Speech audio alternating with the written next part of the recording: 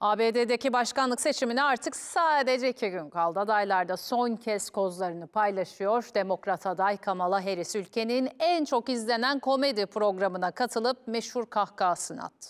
Cumhuriyetçi aday Donald Trump ise 7 salıncak eyalette yapılan anketlerde Harris'in önüne geçtiğini savundu. Gosh, I just, I wish I could talk to someone who's been in my shoes, you know? A black South Asian woman running for president, preferably from the Bay Area.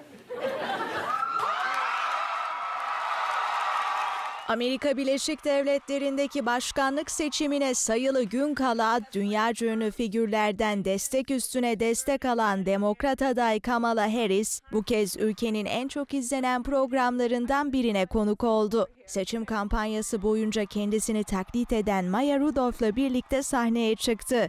İkilinin kıyafetleri bile birebir aynıydı. Nice to see you, Kamala. It is nice to see you, Kamala. Kamala Harris'e destek için Wisconsin mitingine katılan Amerikalı rapçi Cardi B ise Cumhuriyetçi aday Donald Trump'ın bir numaralı destekçisi Elon Musk'ın diline düştü. Musk ünlü şarkıcının konuşmasını telefonundan okumasını eleştirip kelimelerle beslenmeden konuşamayan bir kukla daha diye yazdı.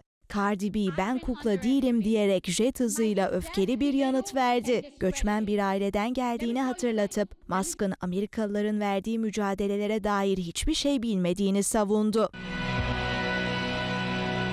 Trump ise kritik önemdeki salıncak eyaletlerden Kuzey Carolina'daydı. Kararsız seçmenleri ikna etmek için vaatlerini tekrar sıraladı. Sosyal medya hesabından da dikkat çeken bir paylaşım yaptı. 2 Kasım tarihli bir anketin sonuçlarına yer verdi. O ankette 7 salıncak eyaletin tamamında kendisi öndeydi. Trump'ın açıklamaları ve paylaşımları kaybetmesi halinde seçim sonuçlarını kabul edip etmeyeceğiyle ilgili şüphelere neden oluyor. Gazeteci Tucker Carlson'ın söyleşisine konuk olan Trump, seçimi kaybetmesinin tek ihtimalinin hile olduğunu ileri sürmüştü. used to say it at the beginning in 2016. New York Times Siena College anketine göre Trump 4, Harris ise 2 salınacak eyalette önde gözüküyor. Kritik önemdeki Pensilvanya'da durum başa baş. Ulusal çaptaki ankette ise Harris yalnızca 1 puanlık farkla önde.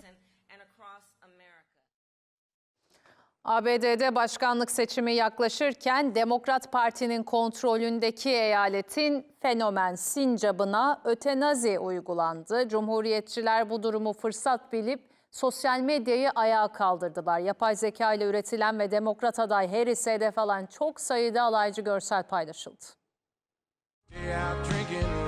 Sosyal medya fenomeni Sincap uyutuldu. Seçime saatler kala ABD siyaseti karıştı. Sincap Peanut sevimli halleriyle sosyal medyada büyük ilgi topluyordu. Sahibi Mark Longo onu 7 yıl önce bir araba kazasından kurtarmış, New York eyaletinde onunla birlikte yaşamaya başlamıştı. Peanut'ın en ilgi çeken anılarını ise Instagram ve TikTok üzerinden paylaşıyordu. Ancak komşuları evde yabani hayvan beslediği gerekçesiyle şikayette bulundu. Çevre Koruma Bakanlığı'ndan yetkililer Longo'nun evine baskın yaptı. Fenomen sincaba el koydu. Sahibi Longo, bana teröristmişim, uyuşturucu satıcısıymışım gibi davrandılar dedi. Çok geçmeden Peanut'ın bir görevlinin elini ısırdığı ve kuduz şüphesiyle ötenazi uygulandığı öğrenildi. Gelişme infiale neden oldu.